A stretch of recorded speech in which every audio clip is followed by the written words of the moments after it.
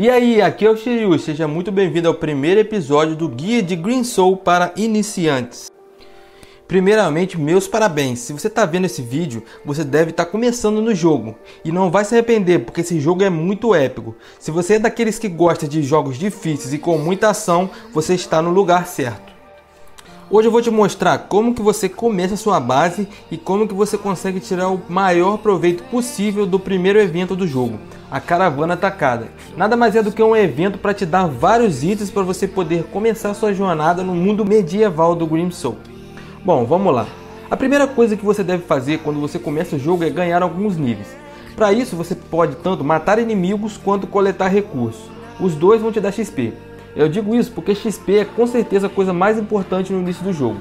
Então mate aí alguns inimigos e colete alguns recursos até você conseguir o nível 3 porque é nele que você libera a construção do baú e da bolsa. E esses dois são imprescindíveis para você conseguir fazer o que eu vou te mostrar hoje. Para colocar o, ba o baú é necessário você antes fazer um solo simples. Ele só custa um de madeira, então é bem fácil. Para você construir os baús, além de madeira, você vai precisar de fibra. E na bolsa você vai precisar tanto de fibra quanto de algumas cordas. Você consegue esse recurso bem fácil no jogo.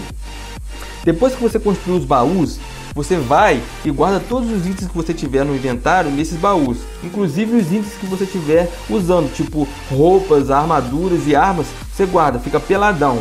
Aí você pode sair da zona e ir olhar o mapa global do jogo.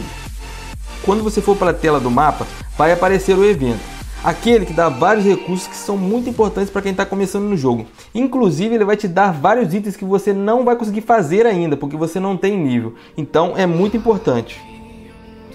Depois de avistar o evento, use sua energia para ir correndo para ele. Chegando lá, você vai ver vários e vários baús para serem abertos no chão. Eles vão estar cheios de itens para você coletar. E é por isso que eu falei para você fazer sua bolsa e ir pelado por quê? Para aproveitar ao máximo de espaço para trazer os itens de volta para sua base. Quando você for abrindo os baús, também vai equipando as armaduras e armas que você encontra para você ir abrindo mais espaço no seu inventário. E depois que você tiver com o inventário cheio, é só sair da zona e voltar para sua base novamente. Olha só que bug louco, não consigo sair do evento. Mas enquanto você está assistindo eu tentando sair igual um babaca do mapa, se você está gostando desse vídeo, deixe seu like aí que me ajuda demais, tá bom? Valeu! Olha só, eu tive que fechar o jogo no gerenciador de tarefas para poder conseguir voltar para a base, porque o jogo não estava me deixando sair do evento. Mas de volta aqui na base, você pode construir novos baús para poder guardar as coisas do evento, se você já não tiver feito isso, é claro. Sendo que ainda tem bastante tempo para você voltar lá e pegar o resto das coisas. Não se esqueça, volte totalmente nu novamente, mas com a bolsa. Você vai conseguir pegar tudinho que sobrou lá e terminar o evento em duas viagens.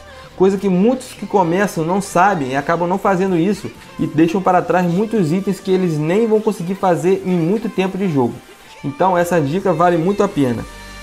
Lembrando, se você está no início e quer melhorar nesse jogo, não deixe de acompanhar essa série. Se inscreve aqui no canal para você receber as notificações dos próximos episódios do Guia dos Green Soul do Shiryu. E no próximo episódio nós vamos ter como ganhar XP rápido no início e em quais itens você deve investir seus pontos de experiência. Se você já está em um nível mais alto, confere meus outros vídeos, tem muita dica avançada que eu aposto que você não sabe ainda. E para você que assistiu até aqui, muito obrigado mesmo. Já te adianto que qualquer dúvida você pode comentar aí embaixo que eu vou ficar muito feliz em te responder. Aquele abraço e fui!